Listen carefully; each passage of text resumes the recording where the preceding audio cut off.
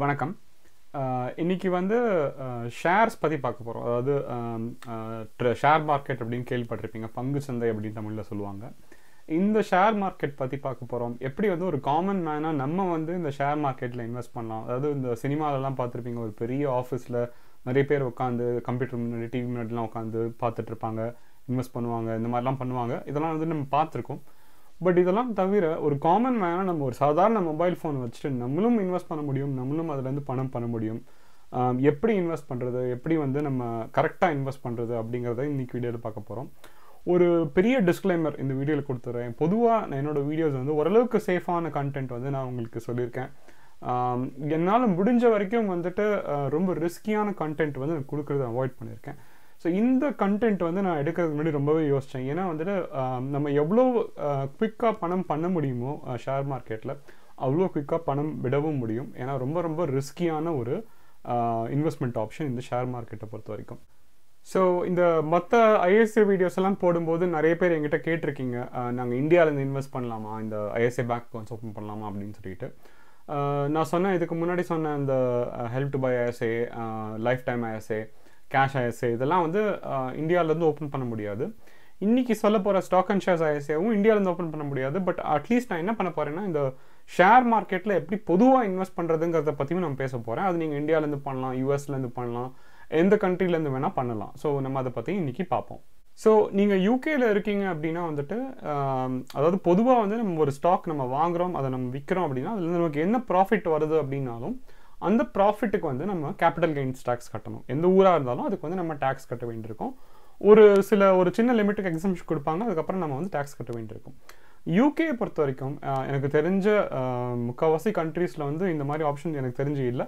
But UK பொறுத்த வரைக்கும் வந்துட்டு நீங்கள் இந்த ஷேர் வாங்கி விற்கிறதுக்கு வந்துட்டு தனியாக நீங்கள் ஒரு ஒரு security account stock and share ஐஎஸ்ஏன்னு சொல்லிட்டு ஒரு அக்கௌண்ட் நீங்கள் வந்துட்டு நீங்கள் இன்வெஸ்ட் பண்ணி நீங்கள் அதில் வாங்கி நீங்கள் அதுக்குள்ளே விற்றீங்க அப்படின்னா உங்களுக்கு வந்து எதுவும் கேப் டேக்ஸ் கிடையாது. நீங்கள் கவர்மெண்ட்டுக்கு சொல்ல வேண்டிய அவசியமும் கிடையாது. ஒரு வருஷத்துக்கு இருபதாயிரம் பவுண்ட் வரைக்கும் நீங்கள் வாங்க முடியும். அதில் நீங்கள் எவ்வளோ வேணால் ப்ராஃபிட் பண்ண முடியும். ஈவன் நீங்கள் ஒரு மில்லியன் பவுண்ட்ஸ் ப்ராஃபிட் வந்தாலும் அதாவது ஒரு பல கோடிகள் ப்ராஃபிட் வந்தாலும் நீங்கள் வந்து அதை கவர்மெண்ட்டுக்கு சொல்லணும்னு அவசியம் இல்லை. அதுலேருந்து வர ப்ராஃபிட் ஃபுல் அண்ட் ஃபுல் நீங்கள் வந்து டேக்ஸ் ஃப்ரீயாக லீகலாக நீங்கள் எடுத்துக்கலாம். ஸோ முதல்ல பேசிக்லேருந்து ஆரம்பிப்போம். ஷேர் அப்படின்னா என்ன? நம்ம பங்கு சந்தையில் பங்கு அப்படிங்கிறது என்ன அப்படிங்கிறத பார்ப்போம். பொதுவாக ஒரு கம்பெனி வந்து ஆரம்பிக்கிறாங்க அப்படின்னா ஒரு ஒரு நாலு பேர் சேர்ந்து பணம் போட்டு ஒரு கம்பெனி ஆரம்பிக்கிறாங்கன்னா அவங்க நாலு பேர் மட்டும்தான் அந்த கம்பெனிக்கு ஷேர் ஹோல்டர்ஸ் அப்போ வந்து அந்த கம்பெனி வந்து ஒரு private company private limited company PLC அப்படின்னு பொதுவாக சொல்லுவாங்க. ஸோ ப்ரைவேட்டாக வந்து ஒரு கம்பெனி நாலு பேர் சேர்ந்து ஒரு ஆரம்பிச்சிருக்காங்க அப்படின்னா அது கொஞ்சம் கொஞ்சமாக வளர வளர வளர ஒரு ஸ்டேஜுக்கு மேலே ஓரளவுக்கு நல்ல ஒரு ஒரு ப்ராஃபிட் கொடுக்குற கம்பெனியாக மாறினதுக்கப்புறம் அவங்க வந்து மேலும் பணம் போட்டு அந்த கம்பெனியை பெருசுப்படுத்தணும் அப்படின்னு நினைக்கிறாங்க. இப்போ வந்து ஒரு பத்து பிரான்ச் இருக்கிற மாதிரி ஒரு ஒரு ரெஸ்டாரண்ட் ஆரம்பிக்கிறாங்கன்னு வச்சுப்போம். அந்த ரெஸ்டாரண்ட் வந்து பத்து பிரான்ச் ஆரம்பிச்சிட்டாங்க. இப்போ வந்து அவங்களுக்கு திடீர்னு நூறு பிரான்ச் ஆரம்பிக்கணும் அப்படிங்கிற ஒரு ஐடியா இருக்குது அப்படின்னா எப்படி வந்து அதுக்கான இன்வெஸ்ட்மெண்ட் தேடுறது? ஏன்னா அவங்க கொஞ்சம் கொஞ்சமாக தான் வளர முடியும் இல்லையா? அப்போ அதுக்கான இன்வெஸ்ட்மெண்ட் தேடுறதுக்கு அவங்க என்ன பண்ணுவாங்க? என்ன பண்ணலாம் அப்படின்னா வந்துட்டு இந்த மாதிரி ஒரு லெவல் ரீச் பண்ணதுக்கப்புறம் வந்துட்டு அவங்க வந்து அந்த கம்பெனியோட கம்பெனியை வந்து பப்ளிக் எடுத்துகிட்டு போகலாம் ப்ரைவேட்டாக இருக்கிற கம்பெனி வந்து பப்ளிக்காக எடுத்துகிட்டு போகலாம் எப்படி அப்படின்னா இந்த கம்பெனிக்கு வந்து மொத்தமாக வந்து ஒரு ஆயிரம் ஷேர் இந்த ஆயிரம் ஷேரில் ஒரு ஷேரோட விலை வந்து நூறுரூபா அப்படின்னு சொல்லி அவங்க வந்து ஐபிஓ இனிஷியல் பப்ளிக் ஆஃபரிங் அப்படின்னு சொல்லுவாங்க. ஐபிஓ போகிறோம் இதில் வந்து இதோட விலை வந்து நூறுரூபா அப்படின்னு வந்துட்டு அவங்க வந்து செட் பண்ணலாம். செட் பண்ணால் அவங்களுக்கு வந்து ஒரு நூறுரூபா இப்போ இந்தியன் மதிப்பில் சொல்கிறேன் ஒரு நூறுரூபா ஒரு ஷேர் ஆயிரம் ஷேர் நான் விற்கிறேன் அப்படின்னா ஒரு லட்சம் ரூபாய்க்கு வந்து அவங்க அந்த கம்பெனியோட வேல்யூவேஷன் கொடுத்துருக்காங்க. கொடுத்து அவங்க ஐபிஓ போகும்போது இப்போ மார்க்கெட்டில் வந்து பப்ளிக் வந்து அதுக்கு வந்து முதல் தடவை வாங்குவாங்க.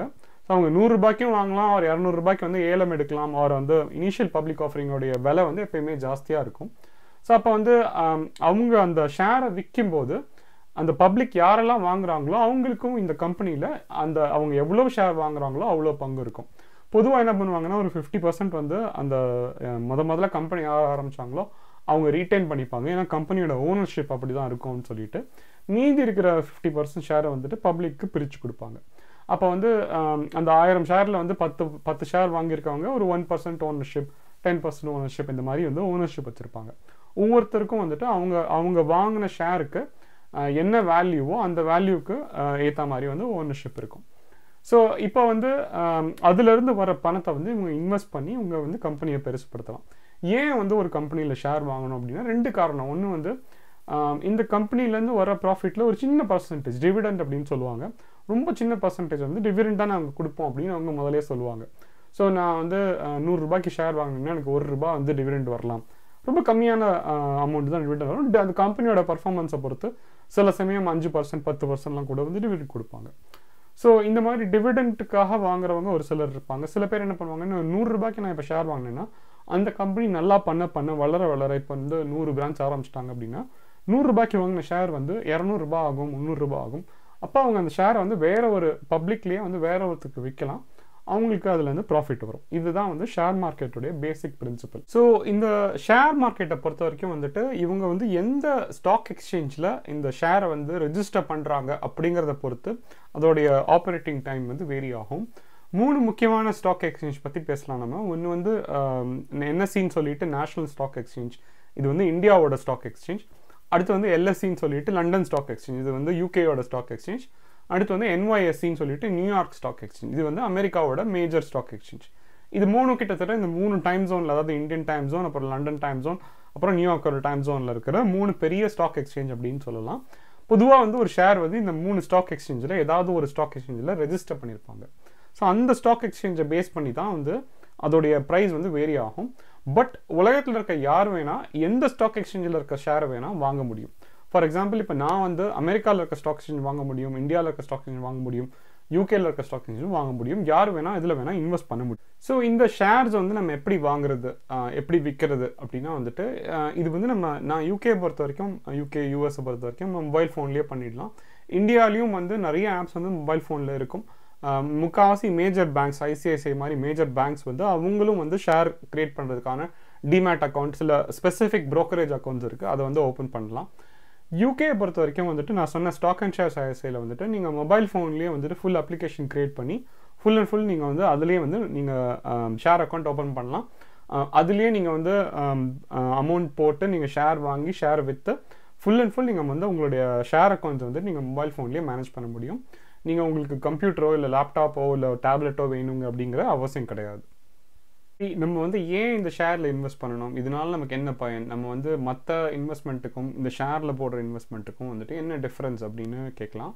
ஸோ இப்போ நம்ம தங்கத்துலையோ கோல்ட்லையோ இல்லை வேறு அந்த மாதிரி விஷயங்கள் பண்ணும்போது நமக்கு ஒரு நம்ம போடுற பணம் வந்து ஒரு மூணு இல்லை நாலு மடங்கு இந்த மாதிரி ஆக வாய்ப்பு இருக்குது அதாவது ஒரு ஷார்ட் பீரியடில் டென் ஃபிஃப்டீன் இயர்ஸில் சொல்கிறேன் ஷேர்ஸை பொறுத்த வரைக்கும் வந்துட்டு ரெண்டு வகையான இன்வெஸ்ட்மெண்ட் இருக்குது ஒன்று வந்து லாங் டேர்ம் இன்வெஸ்ட்மெண்ட் இன்னொன்று வந்து ஷார்ட் டேர்ம் இன்வெஸ்ட்மெண்ட் ஷார்ட் டேர்ம்ங்கிறது வந்துட்டு கிட்டத்தட்ட வந்து அன்னைக்கு ஒரே நாளாக கூட இருக்கலாம். அன்னைக்கு காலையில் நம்ம போட்டு அன்னைக்கு வந்து பத்து மணிக்கு நம்ம இன்வெஸ்ட் பண்ணிவிட்டு நம்ம பதினோரு மணிக்கு வந்து பணத்தை திருப்பி எடுக்கிற மாதிரி ஷார்ட் டேர்ம் இன்வெஸ்ட்மெண்ட்ஸ் ஆப்ஷன்ஸ் இருக்குது இது வந்து டே ட்ரேடிங் அப்படின்னு சொல்லுவாங்க. அதாவது ஒரே நாளில் காலையில் நம்ம வந்து இன்வெஸ்ட் பண்ணிவிட்டு சாயங்காலம் வந்து நம்ம அந்த பணத்தை வந்து திருப்பி எடுக்கிற மாதிரி ஆப்ஷன்ஸ் இருக்குது இதுதான் வந்து டே ட்ரேடிங் ஸோ அதாவது ஒரு நாளுக்குள்ளே வந்து நம்ம பண்ணி நம்ம அதுலேருந்து ப்ராஃபிட்டோ லாஸோ எடுக்கிற மாதிரி இதுதான் டே ட்ரேடிங் இது தவிர லாங் டேர்ம் இன்வெஸ்ட்மெண்ட் பார்த்தீங்கன்னா ஒரு ஷேரை வாங்கிட்டு நம்ம கிட்டத்தட்ட ஒரு நாலு அஞ்சு வருஷம் இல்லை பத்து வருஷம் கூட வச்சுருக்கணும். ஒரு எக்ஸாம்பிளுக்கு சொல்கிறேன் இப்போ கூகுள் நம்ம எல்லாரும் யூஸ் பண்ணுறோம் ஆண்ட்ராய்ட் ஃபோனில் யூஸ் பண்ணுறோம் எல்லாருக்கும் தெரிஞ்சிருக்கும். கூகுள் வந்து ஒரு ஒரு ஃபேமஸான ஒரு கம்பெனி இந்த கூகுள் ஷேர் வந்து ரெண்டாயிரத்தி நாலில் டூ தௌசண்ட் ஃபோரில் வந்து இவங்க பப்ளிக் போனப்போ ஒரு ஷேரோட விலை வந்து கிட்டத்தட்ட ஒரு ஐம்பது ஐம்பத்தி நாலு டாலர் இருந்துச்சு. இந்தியன் மதிப்பில் சொல்ல போனால் அன்றைக்கி எக்ஸ்சேஞ்ச் ரேட் வந்து ஒரு நாற்பது ரூபா கிட்ட வச்சுக்கிட்டோன்னா ஒரு ரெண்டாயிரம் ரூபாய் ஒரு ஷேரோட விலை வந்து ரெண்டாயிரம் ரூபாய் இருந்துச்சு. இந்த வருஷம் ஜனவரி மாதம் டூ தௌசண்ட் டுவெண்ட்டி ஜனவரி மாதம் வந்து ஒரு கூகுள் ஷேரோட விலை வந்து கிட்டத்தட்ட ஆயிரத்தி ஐநூறு டாலர். இந்தியன் மதிப்பில் சொல்ல போனால் கிட்டத்தட்ட ஒரு ஒரு ஒரு ஒரு லட்சத்தி இருபதாயிரம் ரூபாய். ரெண்டாயிரம் ரூபாய் நீங்கள் இன்வெஸ்ட் பண்ணியிருந்தீங்க அப்படின்னா கிட்டத்தட்ட அறுபது மடங்கு ப்ராஃபிட்டோட வந்து கிட்டத்தட்ட ஒரு லட்சத்தி இருபதாயிரம் ரூபாய் வந்து உங்களுக்கு அந்த ரிட்டர்ன் திரும்பி வந்திருக்கும் இந்த ஒரு பதினஞ்சு வருஷ பீரியடில் ஸோ ஒரு ரெண்டாயிரம் ரூபாய் இன்வெஸ்ட்மெண்ட் வந்து ஒரு ஒரு லட்ச ரூபாய் ஆக முடியும் அப்படின்னா நீங்கள் ஒரு பத்தாயிரம் ரூபாய் போட்டிங்க அப்படின்னா ஈக்குவலண்ட்டாக அதுக்கேற்ற மாதிரி வந்து உங்களுக்கு அஞ்சு லட்சம் ஆறு லட்சமாக இருக்கும். இந்த அளவுக்கு ஐம்பது அறுபது மடங்கு அஹ், ஜாஸ்தியாகிறது வந்து முக்கால்வாசி உங்களுக்கு மற்ற இன்வெஸ்ட்மெண்ட்ஸில் வராது. ஷேரை பொறுத்த வரைக்கும் வந்துட்டு உங்களுக்கு ஹையஸ்ட் ப்ராஃபிட்ஸ் வர்றதுக்கு வாய்ப்பு இருக்குது இதுலேயே வந்து ஒரு நாளைக்கு இருக்கிற ப்ராஃபிட்டே வந்து சில சமயம் நீங்கள் வந்து ஒரு ஷேரோட விலை வந்து ஒரு பத்து ரூபா இருக்குது நீங்கள் வந்து ஒரு ஆயிரம் ஷேர் வாங்குறீங்க. பத்தாயிரம் ரூபாய்க்கு நீங்கள் வந்துட்டு ஆயிரம் ஷேர் வாங்குறீங்க. அப்படின்னா அந்த ஷேரோட விலை வந்து ஒரு ரூபாய் ஏறினா கூட வந்துட்டு நீங்கள் பதினோராயிரம் ரூபாய்க்கு வந்து சாயங்காலம் விற்றீங்க அப்படின்னா உங்களுக்கு ஆயிரம் ரூபாய் வந்து அதுலேருந்து ப்ராஃபிட் வரும். ஒரே நாளில் வந்து நம்ம காலையில் ஒரு அமௌண்ட் போட்டு ஈவினிங் வந்து அதுலேருந்து ப்ராஃபிட் எடுக்க முடியும். இதுதான் நான் முதலே சொன்ன மாதிரி இது வந்து ரொம்ப ரொம்ப ரிஸ்கியான ஆப்ஷன் இந்த ஷேர் வந்து இன்னைக்கு நிஜமாக ஒரு ரூபாய் ஏறுமா ஏறாதா அப்படிங்கிறத வந்து நம்ம ரொம்ப அனலைஸ் பண்ணி இது வந்து லாங் டேர்மாக ஏறுமா ஏறாதாங்கிறத ரொம்ப அனலைஸ் பண்ணி நிறைய அந்த அந்த கம்பெனியை பற்றி எந்த கம்பெனியில் ஷேர் வாங்க போகிறோமோ அந்த கம்பெனியை பற்றி நல்லா படிச்சுட்டு அதுக்கப்புறம் நம்ம வாங்கணும். இப்போ நம்ம சொன்ன கூகுளோட எக்ஸாம்பிள் எடுத்துக்கிட்டிங்கன்னா ஆயிரத்தி ஐநூறுரூபா இருந்த ஷேர் அதாவது கிட்டத்தட்ட ஒரு ஒரு ஒன்னே கால் லட்சம் இருந்த ஷேர் ஜனவரியில் இருந்த ஷேர் வந்து இன்னி தேதிக்கு வந்து ஆயிரத்தி இரநூறு டாலர் அதாவது ஒரு முந்நூறு டாலர் கிட்டத்தட்ட ஒரு முப்பதாயிரம் ரூபாய் வந்து இருபத்தஞ்சாயிரம் ரூபாய் வந்து கிட்டத்தட்ட வந்து இந்த ஒரு மூணு மாதத்தில் வந்து குறைஞ்சிருச்சு இந்த கொரோனா வைரஸ்னால இந்த பல விஷயங்கள்னால வந்து இந்த மூணு மாதத்தில் வந்து அது குறைஞ்சிருச்சு. ஸோ நம்ம ஈவன் கூகுள் ஷேரே நீங்கள் ஜனவரியில் வந்து அந்த ஆயிரத்தி ஐநூறுரூபா இருக்கும்போது அந்த ஆயிரத்தி ஐநூறு டாலர் இருக்கும்போது வாங்கியிருந்தாலும் உங்களுக்கு இன்னைய தேதிக்கு வந்து ஆல்மோஸ்ட் இருபத்தஞ்சு இருபத்தஞ்சாயிரம் ரூபாய் வந்து லாஸ் ஆகிருக்கும் ஸோ இது வந்து நம்ம எப்போ வாங்குகிறோம் அந்த ஷேரோடைய டைம் எவ்வளோ கம்மியாக இருக்குங்கிறத பொறுத்து நிறைய விஷயங்களை பொறுத்து வந்து நமக்கு ப்ராஃபிட்டாக லாஸா அப்படிங்கிறது முடிவாகும். இப்போ பல வருஷங்கள் வச்சிருந்ததா இந்த மாதிரி ப்ராஃபிட்டா அப்படின்னா ரெண்டு உதாரணம் சொல்கிறேன் ஒன்று வந்து பாசிட்டிவான உதாரணம் இன்னொன்று வந்து நெகட்டிவான உதாரணம். இப்போ இந்த இந்த கொரோனா வைரஸ் இந்த கோவிட் நைன்டீன் எல்லாம் ஸ்டார்ட் பண்ணிட்டு இருக்கும்போது ஜனவரி மாதம் வந்து நோவா சிஒய்டி அப்படின்னு ஒரு கம்பெனி ப்ரைமர் டிசைன் அப்படிங்கிற பேரண்ட் கம்பெனி இவங்க வந்து ரெண்டு மணி நேரத்தில் வந்து அக்யூரேட்டாக வந்து இந்த கோவிட் நைன்டீன் கண்டுபிடிக்கிறதுக்கான ஒரு டெஸ்ட் கண்டுபிடிச்சாங்க. இன்னைக்கு வரைக்கும் இவங்களோட டெஸ்ட் வந்து உலகத்துலேயே வந்து ஒரு ஒரு டாப் டெஸ்ட் அப்படின்னு சொல்லலாம். இது வந்து ரொம்ப ஒரு குட்டியான கம்பெனி இது வந்து ஒரு ஆங்கிலோ ஃப்ரெஞ்ச் கம்பெனி ஒரு இங்கிலீஷ் அண்ட் இங்கிலாந்து அண்ட் ஃப்ரான்ஸோட கொலாபரேஷனில் இருந்த கம்பெனி ரொம்ப ரொம்ப குட்டியான கம்பெனி இதில் வந்து இவங்க கண்டுபிடிச்ச இந்த டெஸ்ட் வந்து எல்லா ஸ்ட்ரெயின்ஸ் அதாவது இந்த கோவிட் நைன்டீனை பொறுத்த வரைக்கும் நிறைய ஸ்ட்ரெயின்ஸ் வந்து வேரி ஆகிட்டே இருக்கும் இல்லையா இதில் எல்லா ஸ்ட்ரெயினையும் வந்து தினமும் வந்து அவங்க அப்டேட் பண்ணிகிட்டு இருக்கிறதுனால ரொம்ப ஈஸியாக ரொம்ப அக்யூரேட்டாக ஒரு ஹண்ட்ரட் பர்சன்ட் அக்யூரேசியோட கரெக்டாக கண்டுபிடிக்கிற மாதிரி ஒரு டெஸ்ட் வந்து இவங்க கண்டுபிடிச்சாங்க. ஜனவரி மாதம் இவங்க இந்த டெஸ்ட்டை வந்து மார்க்கெட்டுக்கு கொண்டு வந்தாங்க. இவங்க இந்த டெஸ்ட்டை மார்க்கெட்டுக்கு கொண்டு வரும்போது இவங்களுடைய ஒரு ஷேரோட விலை வந்து ஃபிஃப்டீன் பென்ஸ் அதாவது ஒரு ஒன் பவுண்டுக்கும் குறைவாக ஃபிஃப்டீன் பென்ஸ் கிட்டத்தட்ட ஒரு பதினஞ்சு ரூபா சொல்லலாம் ஒரு ஷேரோட விலை. ஸோ நீங்கள் அப்போ வந்து ஒரு ஒரு ஒரு ஆயிரம் ஷேர் நீங்கள் வாங்கியிருந்தீங்க அப்படின்னா வந்துட்டு உங்களுக்கு கிட்டத்தட்ட ஒரு ஒரு பதினஞ்சாயிரம் ரூபாய் அதாவது ஒரு பதினஞ்சு ரூபாய் ஒரு ஷேர்னா பதினஞ்சாயிரம் ரூபாய் இந்தியன் மதிப்பில் ஹண்ட்ரட் அண்ட் ஃபிஃப்டி பவுண்ட்ஸ் ரஃப்லி வந்து உங்களுக்கு அந்த ஷேரோட ஒர்த் இருந்திருக்கும். மூணு மாதம் முன்னாடி ஜனவரி மாதத்தோட எண்டில் இன்றைக்கி வந்து இதோட ஷேர் மேக்ஸிமம் வேல்யூ எவ்வளோ போச்சுன்னா ஒரு ஷேரோட விலை வந்து அஞ்சு பவுண்டு போச்சு. ஏன்னா இன்னி வரைக்கும் வந்து இவங்க தான் வந்து அந்த டெஸ்டிங்கில் டாப் கெட்டில் இருக்காங்க. நிறைய கம்பெனி நிறைய கண்ட்ரீஸ்க்கு இவங்க விற்றுட்ருக்காங்க ஸோ இன்றைக்கி வந்து இவங்களுடைய ஒரு ஷேர் விலை வந்து அஞ்சு பவுண்ட் கிட்டத்தட்ட ஐநூறுரூபாய்க்கு போச்சு. ஸோ உங்களுடைய ஆயிரம் ஷேரோட மதிப்பு அதாவது நீங்கள் வந்து ஒன் ஃபிஃப்டி பவுண்ட் பதினஞ்சாயிரம் ரூபாய்க்கு நீங்கள் வாங்கியிருக்க ஷேரோட மதிப்பு வந்து கிட்டத்தட்ட வந்து five thousand pounds one fifty பவுண்ட்ஸுக்கு வாங்கின ஷேர் வந்து இன்றைக்கி வந்து ஃபைவ் தௌசண்ட் பவுண்ட்ஸ் இருக்கும். அஹ், பதினஞ்சாயிரம் ரூபாய்க்கு நீங்கள் வாங்கியிருந்தீங்க அப்படின்னா இன்றைக்கி வந்து அதோட மதிப்பு வந்து அஞ்சு லட்ச ரூபாய் இருக்கும். ஒரு மூணு மாதத்தில் வந்து பதினஞ்சாயிரம் ரூபாய் வந்து அஞ்சு லட்ச ரூபாயாக மாற முடியும். இது வந்து இந்த பாசிட்டிவ் எக்ஸாம்பிள் இது நோவா சிஓஐட்டிங்கிற இந்த கம்பெனியுடைய ஒரு பாசிட்டிவ் எக்ஸாம்பிள் இதே ஒரு நெகட்டிவ் எக்ஸாம்பிள் பார்த்தீங்கன்னா ட்ராவலெக்ஸ் அப்படிங்கிற கம்பெனி பற்றி எல்லாரும் கேள்விப்பட்டிருப்பீங்க. நிறைய ஏர்போர்ட்ஸில் நிறைய இடத்துல வந்துட்டு ஃபாரின் எக்ஸ்சேஞ்ச் அதாவது நம்ம இந்தியாவிலேருந்து யூகே வரோம் அப்படின்னா வந்து இந்த பவுண்ட்ஸ் இந்த பிரிட்டிஷ் பவுண்ட்ஸ் வாங்குறதுக்கு யூஎஸ் டாலர் வாங்குறதுக்கு எந்த ஒரு கண்ட்ரிக்கு போனாலும் அந்த கண்ட்ரியோட லோக்கல் கரன்சிக்கு வாங்குறதுக்கு வந்து ஏர்போர்ட்டில் வந்து ட்ராவலெக்ஸ் அப்படின்னு ஒரு பூத் வச்சுருப்பாங்க. அங்கே போய் நம்ம வந்து கரன்சி எக்ஸ்சேஞ்ச் பண்ணிக்கலாம். நம்ம கார்டு போட்டு நம்ம எடுக்கலாம். நிறைய ஏடிஎம் மிஷின்ஸும் இவங்க வச்சுருப்பாங்க. உலகத்தில் இருக்க அத்தனை ஏர்போர்ட்லையும் ட்ராவலர்ஸோட ஒரு பூத் இருக்கும். ஆர் ஒரு கரன்சி கன்வர்ஷன் ஆப்ஷன் ஒன்று இருக்கும். இது தவிர மேஜர் சிட்டிஸ் லண்டன் அமெரிக்கா மாதிரி பெரிய பெரிய சிட்டிஸ்லாம் ஆயிரக்கணக்கில் வந்து இவங்களுடைய அவுட்லெட்ஸ் இருக்கும். நம்ம போய் வந்து மணி எக்ஸ்சேஞ்ச் பண்ணிக்கலாம். நம்ம ஒரு எந்த நாட்டுக்கு போகும்போதும் அந்த நாட்டோட கரன்சி வந்து நம்ம ஈஸியாக வந்து இவங்க கிட்டேருந்து வாங்கிக்க முடியும். இவங்க வந்து டிசம்பர் ஜனவரி மாதம் வருஷமெல்லாம் வந்து நல்ல பீக்கில் இருந்தாங்க. அதாவது ரொம்ப நல்லா பர்ஃபார்ம் பண்ணிட்டு இருந்தாங்க. ஏன்னா உலகத்தில் எல்லாரும் வந்து நார்மலாக ட்ராவல் பண்ணிட்டு இருந்தாங்க. அப்போ வந்து இவங்களோட ஷேர் ஒரு ஷேரோட விலை எவ்வளோன்னு பார்த்தீங்கன்னா கிட்டத்தட்ட ஒரு ஒரு டூ பவுண்ட் ஃபிஃப்டீன் பென்ஸ் ஒரு இந்தியன் மதிப்பு சொல்ல போனால் ஒரு ஒரு இரநூத்தி பதினஞ்சு ரூபா கிட்ட இருந்துச்சு. அப்போ நீங்கள் இவங்களுடைய ஆயிரம் ஷேரை வாங்கியிருந்தீங்க அப்படின்னா நம்ம ஒரு ரெண்டாயிரம் பவுண்ட் ரெண்டாயிரத்தி நூற்றி ஐம்பது பவுண்ட் கிட்ட செலவு பண்ணோம். கிட்டத்தட்ட ஒரு ஒரு ரெண்டு லட்ச ரூபாய்க்கு மேலே வந்து நம்ம இந்த ஷேரில் வந்து இன்வெஸ்ட் பண்ணியிருந்திருப்போம். டிசம்பர் மாதம் இன்னைக்கு மார்ச் மாதம் இன்ஃபேக்ட் இந்த இந்த கொரோனா வைரஸ் எல்லாம் ஸ்டார்ட் பண்ணதுக்கப்புறம் இந்த மார்ச் மாதம் இதோட இம்பாக்ட் என்ன அப்படின்னு பார்த்தீங்கன்னா ஒரு ஷேரோட விலை வந்து ஆறு பென்ஸ் கிட்டத்தட்ட வந்து ஆறு ரூபாய் நம்ம இரநூறுபாய்க்கு இருந்த ஷேர் வந்து இரநூத்தி பதினஞ்சு ரூபாய்க்கு இருந்த ஷேர் வந்து இன்னைக்கு ஆறு ரூபாய் அந்த ரெண்டு லட்சம் ரூபாய்க்கு நம்ம வாங்கியிருக்கிற ஷேர்ஸோட மதிப்பு வந்து இன்னைக்கு வந்து ஆறாயிரம் ரூபாய் கூட கிடையாது. கிட்டத்தட்ட வந்து என்டையர் அமௌண்ட் வந்து அப்படியே வைப் ஆஃப் ஆயிருக்கும். ஸோ ஒருவேளை நம்ம இந்த கம்பெனியில் இன்வெஸ்ட் பண்ணியிருந்தோம் அப்படின்னா என்டையர் அமௌண்ட் கம்ப்ளீட்டாக வைஃப் ஆயிருக்கும். இதுக்கு தான் நான் சொன்னேன் என்னென்னா வந்துட்டு இது ரொம்ப ரொம்ப ரிஸ்க்கு நம்ம எந்த கம்பெனியில் இன்வெஸ்ட் பண்ண போகிறோம் அந்த கம்பெனியில் இன்வெஸ்ட் பண்ணதுக்கப்புறம் நம்மளை மீறிய விஷயங்கள் இப்போ இந்த கொரோனா வைரஸுங்கிறது வந்து நம்மளை மீறிய ஒரு விஷயம். இந்த ஒருவேளை இந்த இந்த இந்த இம்பாக்ட்லாம் எதுவுமே ஆகாம இருந்தால் இந்த கம்பெனி நல்லா பண்ணியிருக்கலாம் உங்களுக்கு ப்ராஃபிட் வந்திருக்கலாம். பட் இன்றைக்கி வந்து அந்த கம்பெனியோட மொத்த வேல்யூம் டோட்டலாக வைப் ஆஃப் ஆயிடுச்சு. அதில் யாராவது இன்வெஸ்ட் பண்ணியிருந்தாங்க இந்த மாதிரி ஒரு ஆயிரம் ஷேர் வாங்கியிருந்தாங்க அப்படின்னா அவங்களுடைய மொத்த பணமும் அப்படியே காலி. இப்படி ஒரு ரொம்ப ரொம்ப ரொம்ப கம்மியான ஒரு நிலைமைக்கு வரும்போது அவங்களுடைய வேல்யூ வந்து கம்பெனியோட வேல்யூ வந்து டெட்டில் போயிடும். அதாவது வந்து கடனில் போயிடும். அப்போ வந்து அவங்க அது வந்து அட்மினிஸ்ட்ரேஷனுக்கு போயாகணும் இந்த கம்பெனி வந்து மொத்தமாக வந்து திவாலாக வேண்டிய நிலைமைக்கு போகும். அப்போ நமக்கு அந்த இருக்கிற அந்த பணமும் வராது. அட்மினிஸ்ட்ரேட்டர்ஸ் பார்த்து அவங்களா வந்து அந்த கம்பெனியை விற்று ஏதாவது செட்டில் பண்ணாதான் நமக்கு வந்து பணம் வர வாய்ப்பு இருக்கும். திருப்பி வந்து ஒரு வேளை வளருமா வளராதா அப்படிங்கிற ஆப்ஷனும் இருக்காது.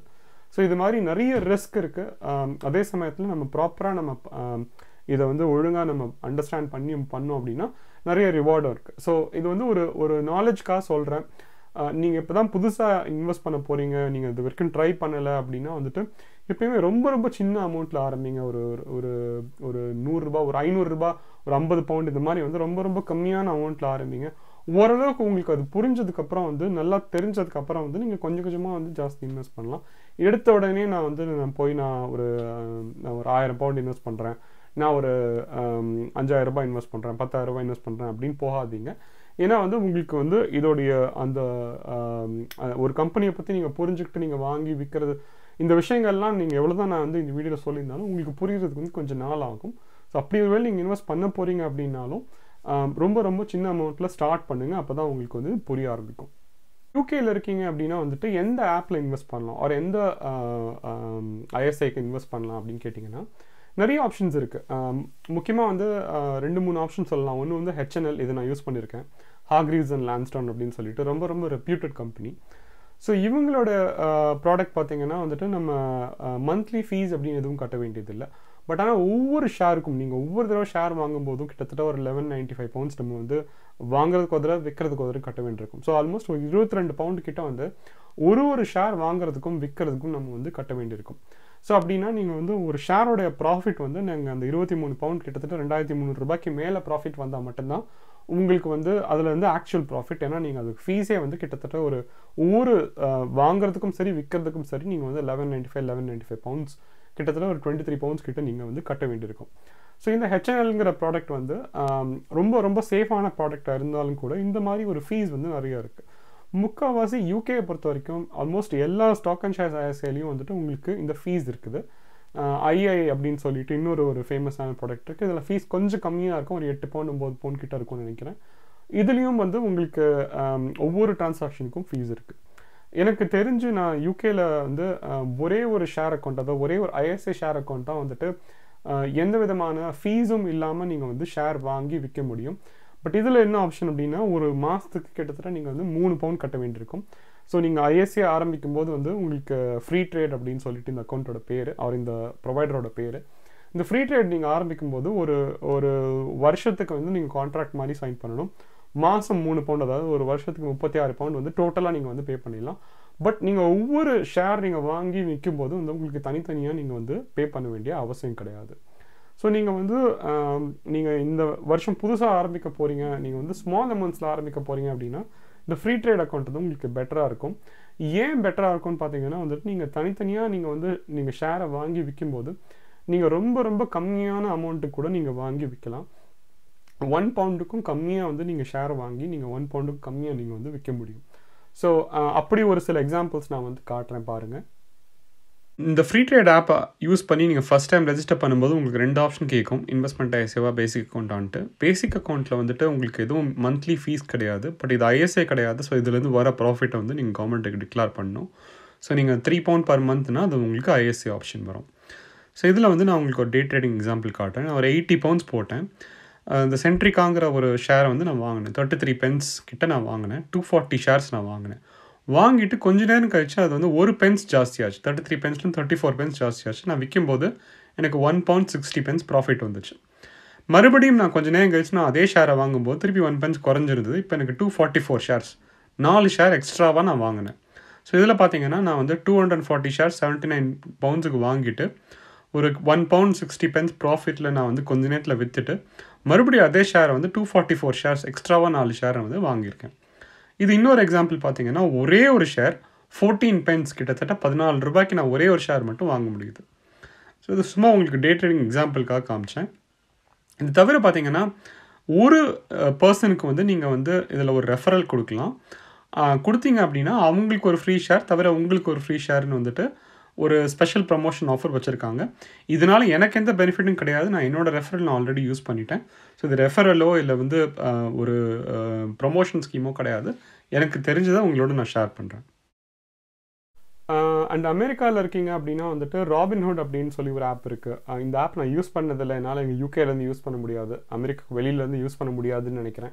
ஸோ ஒருவேளை யாராவது அமெரிக்காலேருந்து பார்க்குறீங்க இந்த ஆப் நீங்கள் யூஸ் பண்ணியிருக்கீங்க அவர் இந்த ராபின்ஹுட்டுங்கிற இந்த ஸ்டாக் அண்ட் ஷேர் யூஸ் பண்ணியிருக்கீங்கன்னா கமெண்ட்டில் சொல்லுங்கள் இது எப்படி இருக்குன்னு மற்றவங்களும் தெரிஞ்சுக்கிட்டோம். இந்தியாவில் இதே மாதிரி வந்துட்டு ஃபீஸ் இல்லாத அதாவது ஒவ்வொரு ஷேருக்கும் தனியாக நீங்கள் வந்து ஃபீஸ் கொடுக்காம இருக்கிறதுக்கு ஏதாவது ஆப்ஷன் இருந்துச்சுன்னா அதையும் கமெண்ட்டில் சொல்லுங்கள் எனக்கு தெரியாது. நான் இந்தியாவில் இருக்க வரைக்கும் இந்த ஷேர்ஸ் ஸ்டாக் அண்ட் ஷேர்ஸ் வந்து யூஸ் பண்ணது கிடையாது. யூகே வந்ததுக்கப்புறம் இந்த ஐஎஸ்ஐ மூலமாக தான் நான் யூஸ் பண்ணிகிட்ருக்கேன் இருக்கேன். ஸோ அதனால் இந்தியாவில் இருக்கிற ஃபீ ஸ்ட்ரக்சர் வந்து எனக்கு தெரியாது. ஸோ யாருக்காவது வந்து ஃப்ரீயாக shares and share stock and shares பண்ண முடியும் அப்படின்னா வந்து எனக்கு எனக்கு சொல்லுங்கள் கமெண்ட்டில் சொல்லுங்கள் மற்றவங்களுக்கு யூஸ்ஃபுல்லாக இருக்கும். ஸோ ஹோப்ஃபுல்லி நான் ஓரளவுக்கு நான் வந்து எல்லாத்தையும் கிளாரிஃபை பண்ணியிருக்கேன்னு நினைக்கிறேன். நம்ம டே ட்ரேடிங் பற்றி பேசியிருக்கோம். நம்ம வந்து எவ்வளோ சின்ன அமௌண்ட்டில் இன்வெஸ்ட் பண்ண முடியுங்கிறத பற்றி பேசியிருக்கோம். இதில் இருக்கிற ரிஸ்க் பற்றி பேசியிருக்கோம். இதில் இருக்கிற ப்ராஃபிட்ஸ் பற்றி பேசியிருக்கோம். ஓரளவுக்கு எல்லாமே பேசியிருக்கோம். ஒரு சாதாரண மனுஷனும் வந்து எப்படி நம்ம மொபைல் ஃபோன்லேயே வந்து இதை பார்க்கலாம் இதை எப்படி இன்வெஸ்ட் பண்ணலாம் அப்படிங்கிறத பற்றியும் ஓரளவுக்கு நம்ம பேசியிருக்கோம். இது உங்களுக்கு ஓரளவுக்கு யூஸ்ஃபுல்லாக இருந்திருக்கும்னு நினைக்கிறேன். உங்கள் கமெண்ட்ஸ் போஸ்ட் பண்ணுங்கள் இதில் ஏதாவது கேள்விகள் இருந்தால் சொல்லுங்கள் என்னால் முடிஞ்ச வரைக்கும் நான் பண்ணுறேன் ஸோ ஹோப்ஃபுல்லி அடுத்த வீடியோவில் மீண்டும் சந்திப்போம். Thank you bye